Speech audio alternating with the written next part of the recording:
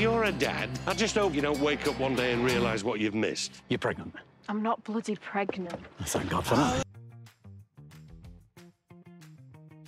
No, I mean, I knew it was. I mean, I mean, obviously, when the film came out, it was so uh, like a phenomenon that I thought, well, this is this this is this is going to be rem remembered.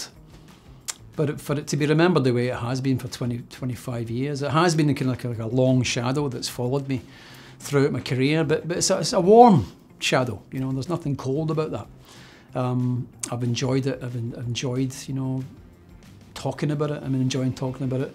Doing the kind of press run, you know, the past couple of weeks uh, for the for the new TV show. I've enjoyed talking about guys, and that's, you know, it's not always the case when you when you do press for stuff. So, um, I'm I'm just like a, any other fan watch, watching this. I, I, that was a great time back then for me, and certainly in the mid to the late '90s.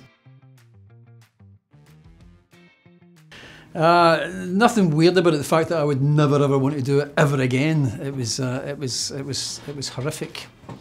Doing the stripping thing. It was. Um, you knew it was in the script. It was there. It was the end. You know, and we shot that towards the end. So we thought, yeah, it's going to be fine. It's going to be okay. But of course, the closer you get to that moment, um, it became you know sort of bigger and bigger. It was it was it was fantastic. It was it was it was great. It probably, if I'm being hundred percent honest, went on a little bit too long. I think it kind of slightly ran out of steam towards the end. Um, but I think certainly the first four seasons of, uh, of Once Upon a Time were, were as, as, good as anything I've been involved in. I loved the character. Um, Rumpelstiltskin was. Um, it, it, was handed to me by, by the, the writers, by the creators of the show. They had been um, they had been fans of Trainspotting, believe it or not. So uh, when I was, um, when they asked me to, to come and be involved, they said, look, you can do anything you like with us. And I'd never really been told that before, so I was able to kind of construct that character from, from scratch.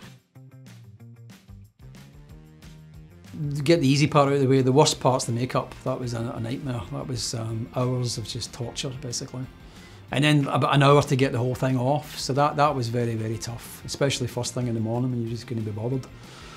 so that was very difficult. Um, the best of it was I was able to, as, as I said, they were able to create this thing from scratch, and an awful lot of Rumpelstiltskin's uh, mannerisms and his um, speech was actually based on um, old Glasgow. You guys would maybe maybe call it vaudeville but uh, music hall, you call it old Glasgow music hall comedians, um, like none, not names that I could say you would never have heard of.